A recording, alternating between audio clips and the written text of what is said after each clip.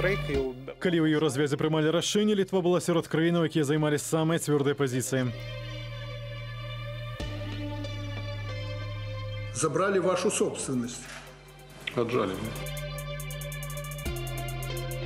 Асобныя прадстаўнікі бізнесу ў літве, якія зараблялі на транзіце калію праз краіну, маглі быць незадаволены і факты такія былі. Скандал са смакам беларускага калію. У літве цякам года адмысловая камісія праводзіла расследаванне, у якім фігуруе прэзідэнт Гітанас Наўседа.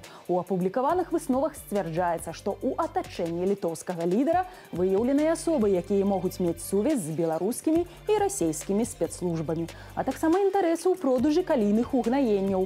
Маўляў, яны маглі ўплываць на наўседу пры ўвядзенні эканамічных захадаў супраць беларускай кампаніі. Штуршком для высвятлення сітуацыі паслужыла кніга дакладчык і прэзідэнт довідаса панцяраваса і беруце давіданіцы. У кнізе аўтары апісваюць канфлікт паміж гітанасам наўседам і экс-міністрам замежных справаў лінасам лінкявішусам, які ўзнік нібыта праз немагчымасць узгадніць санкцыі супраць беларускіх кампаніяў. Маўляў, спробы ўключэння прадпрыемстваў ды асобаў у санкцыйныя спісы блакаваліся на ўзроўні кабінету прэзідэнта.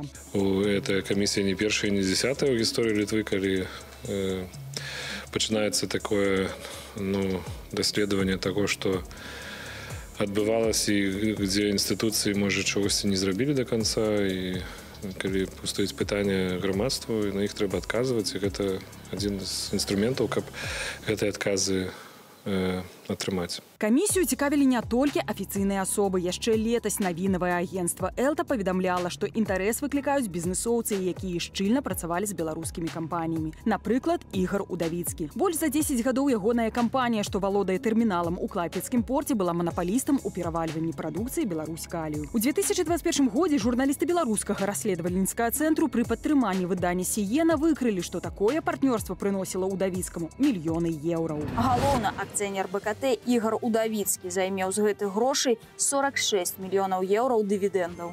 Безумоўна бізнесоўцы ігар удавіцкі і відмантас дамбраўскас якія абслугоўвалі экспорт беларускага калія практычна ўвесь экспорт беларускага калія шмат гадоў. Гэта яны сярод багацейшых людзей у літве. Апрача таго яны палітычна актыўныя і звязаныя з партыяй якая некаторы час была кіроўная. Это партыя так званая аграрная зелён аграрна зялёное аб'яднанне ну і як показвае расследаванне парламенцкай камісіі ты інсайды якія даносіліся адтуль сведчылі про тое што нібыта ёсць нейкія сябры на ўседы якія в кантакце з судавіцкім і з дамбраўскім У 2021 годзе беларускалі трапіў пад амерыканскі і еўрапейскія санкцыі. Літва забараніла перавальванне ўгнаенню пра сваю тэрыторыю ды разарвала дамову аб транспартаванні прадукцыі чыгункаю. Літва тут выбрала э, маральны бок і э, яна хутчэй наперадзе астатніх членаў еўразвязу у справе не толькі ўвядзення, але і контроля прымянення санкцый то напрыклад на, на предмет увядзення яны ж апрача самих санкцый увялі яшчэ і забарону на транспартаванне беларускага калію па беларускай чыгунцы акрамя экспартна-транзітных шляхоў для прадукцыі беларускалі згубіў доступ да сваёй долі ў кампанію давіцкага да траціны акцый у якія прадпрыемства набыло яшчэ ў 2013 годзе акуратна гэтую несправядлівасць наракаў лукашенко на нарадзе з чыноўнікамі ды патрабаваў прыняць захаду ў адказ отбирать отжимать собственность никому не позволено. Ён прымаў і працягвае прымаць меры накіраваны на іх поўнае зняць і прыкладам тут з'яўляецца дзейнасць прадстаўнікоў рэжыму якія спрабуюць гэта растлумачыць нібы пагрозай харшовай бяспецы ў свеце пагрозай сусветнага голаду. Гэтае пытанне ставіў і міністр лукашэнкі алейніку арганізацыі аб'яднаных нацый. Гэта пытанне ставіць і алена доўгань так званая спецдакладчыца аан па правах чалавека з беларусі.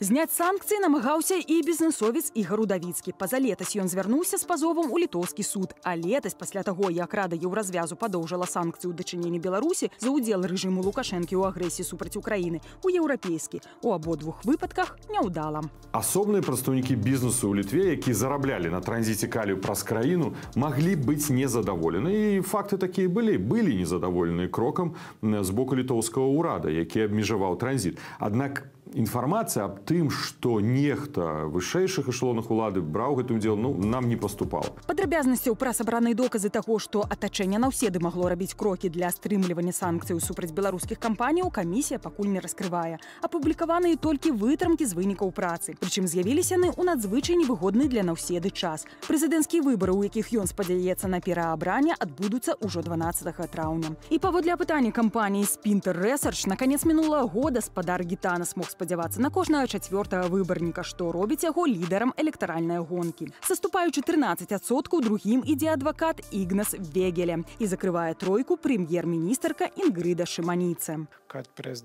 Старі. Зразумела, гэтая сітуацыя робіць прэзідэнта ўразлівым. Канкурэнты могуць скарыстацца ёй у другім туры, калі ён застанецца сам-насам з адным з іх, тады вядома крытыка будзе скіравана ў ягоны бок.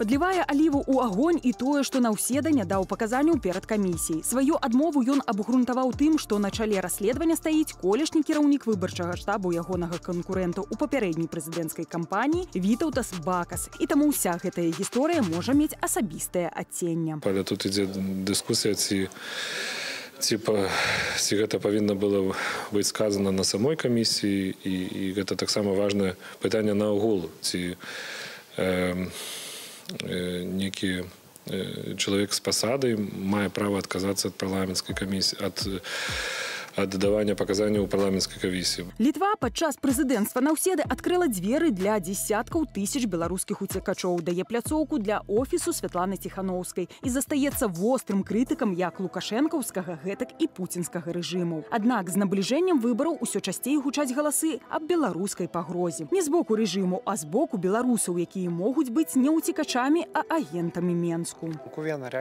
Мы бачым, што літве не стае агульнай пазіцыі. Сапраўды мы назіралі, як у Беларусі беларусі пачаўся грамадскі ўздым пасля прэзідэнцкіх выбараў і быў брутальна здушаны усе запрашалі беларусаў у літву цяпер прыязджае шмат людзей кантэкст украіны моцна змяніў сітуацыю было некалькі непрыемных гісторыяў калі звязаная з рэжымам постаці змаглі апынуцца ў нашай краіне кіданне з аднаго ў другі бок адбываецца эмацыйна не стае рацыянальнай палітыкі як у літве паступаць у такой сітуацыі Што ж да завяршэння гісторыі з расследаваннем некалькі тыдняў літоўскі сейм будзе знаёміцца з яго вынікамі таму ці палічаць дэпутаты сабраныя факты і доказы аб грунтаванымі даведаемся бліжэй да траўня.